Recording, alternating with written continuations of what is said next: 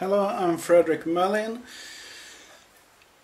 There has been some reports of gears on the XXtreme stripping uh, tail gears and thanks to Fredrik Rothsen here in Sweden we have found and identified a uh, one of the causes.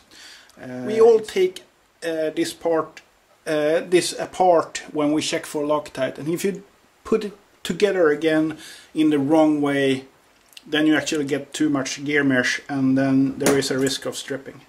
Because if I uh, loosen these screws back here and then I loosen this one and then tighten it, check for Loctite, then tighten back here I actually have a play like this and that's way too much because then I, am gonna get too much mesh here. And that's only because I tightened this first while these were loose. If I do it the other way around, so I'll loosen this again. Uh, let's see here. And I loosen this set screw and I push together so I get no play here. And then I can tighten these back here